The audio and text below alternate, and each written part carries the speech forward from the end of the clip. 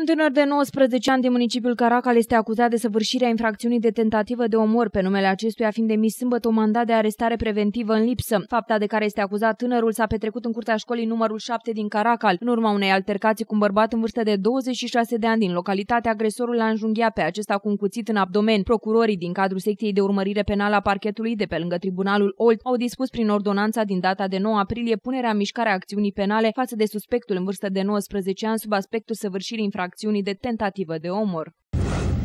La sfârșitul săptămânii trecute, procurorii din cadrul parchetului de pe lângă judecătoria Slatina au dispus trimiterea în judecată a trei inculpați, toți acuzați de săvârșirea infracțiunii de furt calificat. În noaptea de 28 spre 29 ianuarie 2016, inculpații, prin forțarea unei ferestre, au pătruns în punctul de lucru al unei societăți comerciale situate în Slatina și din interior au sustras un număr de șase unelte electrice profesionale în valoare totală de 10.000 de lei. Inculpații au fost trimiși în judecată sub aspectul săvârșirii unei infracțiuni de furt calificat și câte două infracțiuni de influențare a declarațiilor.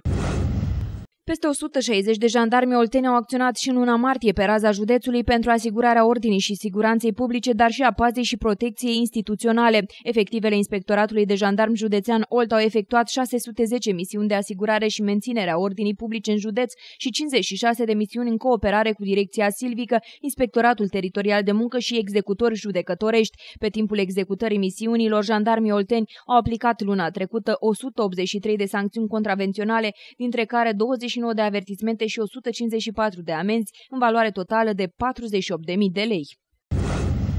Agenția de Plăți și Intervenție pentru Agricultură informează că a început la finalul săptămânii trecute efectuarea plăților finale aferente cererilor unice de plată campania 2015. Potrivit APIA, pe 7 aprilie erau pregătite pentru plată 536.000 de cereri unice în sumă totală estimată de 300 de milioane de euro. Dintre acestea, o primă tranșă de 27.000 de cereri în sumă totală de 13.687.915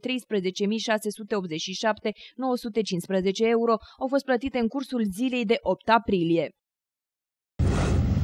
Primăria municipiului Slatin anunță deschiderea sesiunii de participare pentru depunerea de proiecte în baza legii numărul 350 per 2005 privind regimul finanțărilor nerambursabile din fonduri publice alocate pentru activități non-profit de interes general. Proiectele pot fi depuse de către persoanele fizice și juridice fără scop patrimonial în următoarele domenii, cultură, sport, educație, culte religioase, învățământ și sănătate. Ultima zi pentru depunerea proiectelor 28 aprilie. Suma prevăzută în bugetul autohton pe acest an pentru finanțarea nerambursabilă rambursabil a activităților non-profit de interes public este de 1 milion de lei.